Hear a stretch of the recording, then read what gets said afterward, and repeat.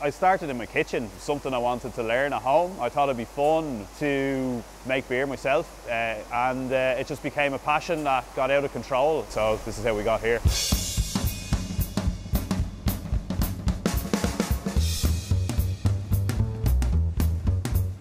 I'm Alex Lawes. I'm the co-founder of Whiplash Beer and we're here at our brewery in Ballyfermot in Dublin. When we began, we started as a nomadic brewery, a gypsy brewery, a cuckoo brewery that we didn't have our own equipment. So we rented other people's equipment and produced beers. So we made each batch of beer in a different facility and with that process we were able to put away money to try start our own place later on. So we consider beer to be an art form and the desire was for our brand to also be that. Sophie DeVere, she's a brilliant artist. So all of our labels and branding are focused around artwork, collage pieces, uh, and they're all linked to the name of the beer and the brief that's given for that. And most of our beers are named after songs that we like on Spotify. So we named one of our core beers our IPA Bone Machine after the Pixies. And they actually got a hold of it and sent us a message, which was incredible. Cans are better because they don't let in any oxygen, they don't let in any light. So that's really important to us um, and they're easily recyclable and all of these things. But the main thing is for the quality of the beer. This is our fifth iteration of uh, Fatal Deviation. It's named after a famous uh, martial arts movie from Ireland called uh, of the same name. Rollover at the moment is our fastest selling product. It's because it's one of our three core beers, so yeah, we sell a lot of it. It's great, it's perfect. I have a lot of kids, so 3.8% beers is good for that. You can have a few and not be worse for wear the next day. When I started working in beer service, something I had a passion in and trying to understand what goes into making beer and it immediately just clicked with me and it was something that I knew I could learn forever. So I just kept learning and yeah, we just started making our own beers.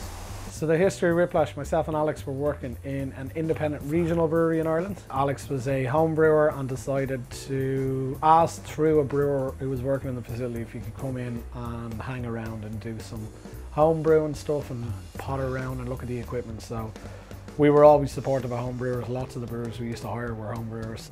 Our relationship began immediately. It was really, really, really good. He was the natural person to help us do this. I had a dream, I wanted to do, you know, more modern beers that hadn't been seen in Ireland at that stage. So the brew house that we have is the smallest craft brewery by volume in Ireland. And the only way we could afford to do it was to get a very small brew house and to brew lots of times per day. Most breweries in Ireland, craft breweries that I check in with, brew maybe twice a week.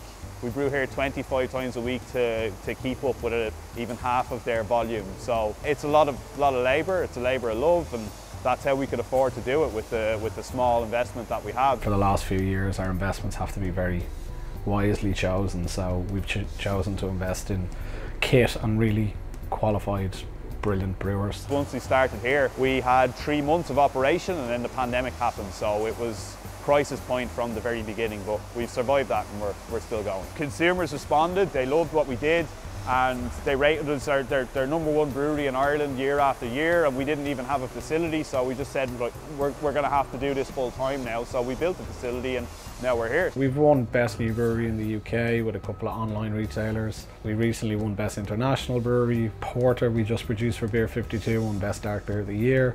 We've won quite a few but again we don't take them too seriously. Uh, it's not something we use to advertise with. Our average working day is we begin at 7 in the morning we start straight away and our last brew goes through at 11 o'clock every night.